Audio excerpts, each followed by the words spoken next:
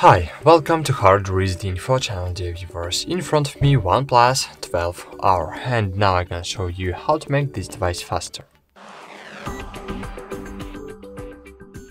So basically, um, firstly you need to understand why devices are starting to be slower. So the first reason is because it filled up your internal storage over the 75-80%. So uh, just open the settings, find about device, here find storage and check your storage capacity. And as you can see I have 256 gigabytes, but I uh, uh, but I used just uh, 30 gigabytes. And of course I have a lot of free space and I can download anything and uh, I can do anything with my device.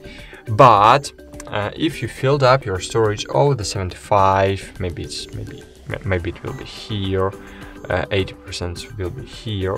So you just need to free up the space on your device. Unfortunately on any devices on Windows uh, iOS Android devices, when you fill up your internal storage over the 85-75%, your device starts to be slower and it's normal.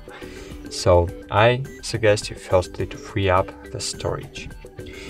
The second aspect you can do is to enable the RAM expansion feature and you can expand your RAM up to 12 gigabytes.